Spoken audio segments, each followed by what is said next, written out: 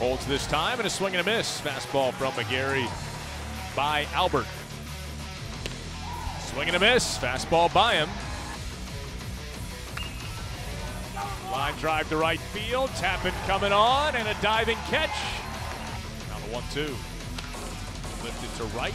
Albert racing back. That ball's got some carry. And that ball is gone. Two run shot the opposite way from Cam Simmons. That'll get Virginia into things. The Hoos in front here in the bottom half of the third.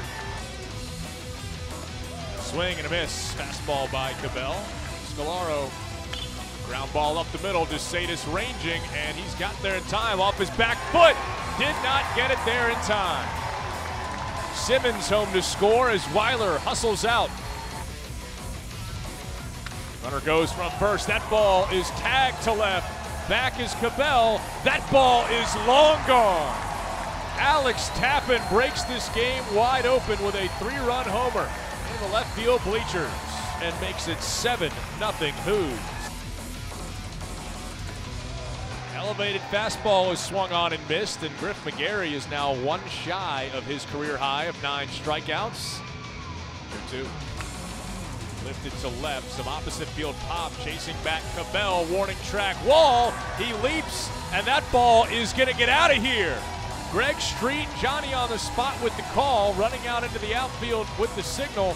That ball deflected off of Cabell's glove, hit the wall above the yellow line behind him, and that is a solo home run for Tanner Morris. Ground ball into left field, a base hit. Eickhoff around third base. He's going to come in to score. Throw is cut off. Bounce back through the box and in for a base hit. So Comer home to score. 12 to 1. And the Hoos have a four run inning. Off the end of the bat. And that's going to be a tough play. And Morris races it down. He will just flip back to second base. What a catch from Tanner Morris. Nate Eickhoff to lead things off here in this eighth inning, and that ball is gone. Opposite field for Eickhoff for the very first pitch that Austin Pollock delivers, and another one for Virginia. Fourth home run of the ball game for UVA, and makes it 13 to three Hoos.